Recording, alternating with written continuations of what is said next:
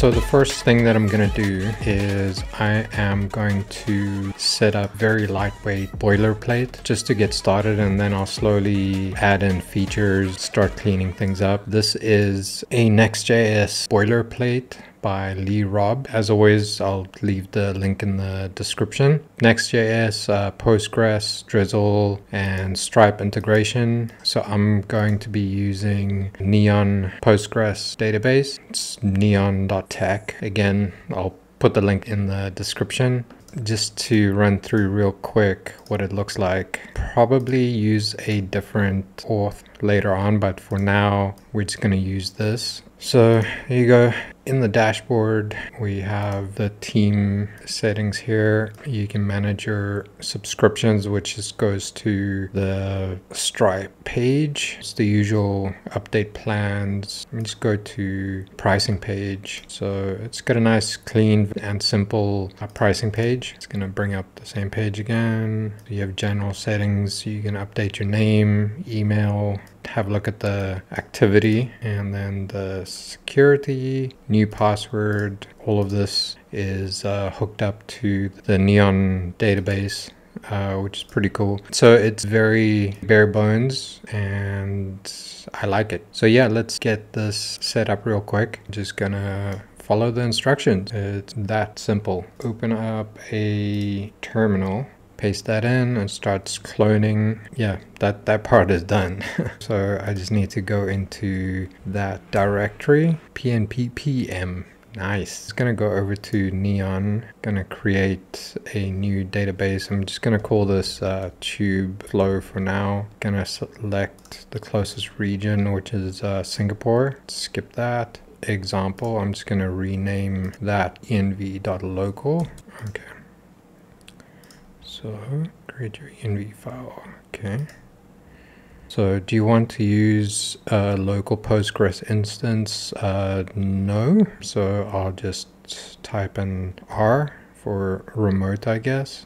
Now it's going to ask me for my Postgres uh, link. Enter your po Postgres URL. I'm going to have to blur this out, copy, go back into terminal, paste that in uh, Stripe secret key. I haven't set this up yet, but I do have a secret key somewhere, which is not going to work. I tried this earlier, so I'll set this up later, but the, the application works anyway without that. Paste that in. Setup completed successfully.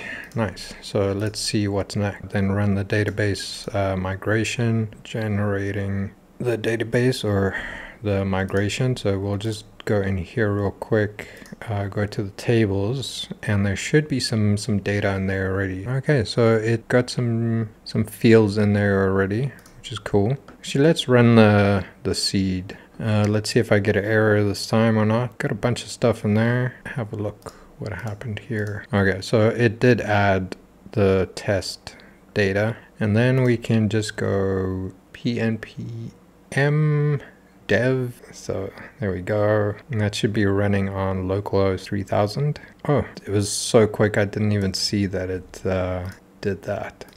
So here's the one that's already on on Vercel. Gonna close that and then open up localhost 3000 and see if it worked. And yeah, there we go. Oh, there's already one right above it. I didn't see it. That's the one we need. So there was a duplicate .env file. The one was the local and the other one was obviously uh, production. So I'm just going to go ahead and delete this one.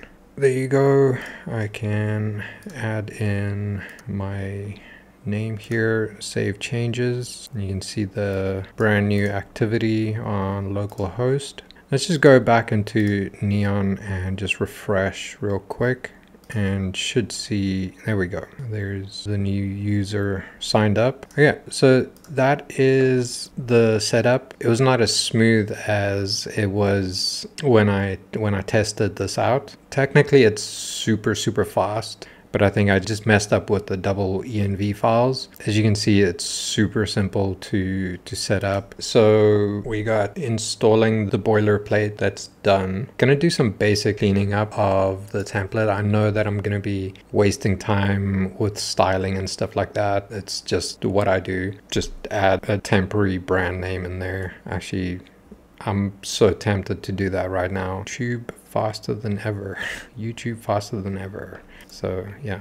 So there you go. We got TubeFlow over there. Sorted. Got it in there. Easy, easy. I'll get there. I'm just gonna just see what that is. I'm just curious what icon that is. Oh, okay. Oh, obviously a circuit board. Yeah. Is there a, uh, wow, it's, uh, it's a lot of stuff in here. Any YouTube? Just gonna remove the circuit board because I'm not gonna use that. Got a new temporary one. There we go, tube flow. That makes sense now. Awesome. Um, see, I did say that I get distracted super quick with uh, styling. Going back to what I was saying, my plan of action when I don't get distracted is the initial boilerplate setup that is done. Cleanup I'm still gonna do. And then next I will be exploring some of the features that I wanna include in this application. Like I mentioned, I'm gonna add the features one at a time just so that I don't end up breaking everything. But I wanna do this properly step by step we're going to list out some features. One big thing that I want to do is I want to be able to have a onboarding process in like right after you sign up and then have the people connect their YouTube channel because this whole application is going to be helping people with uh, YouTube channels. So I need to figure out the YouTube or situation, see if I can connect and then pull in some, some basic channel information into the dashboard. All right, so that's it for this part. I guess we'll move on to the basic cleanup.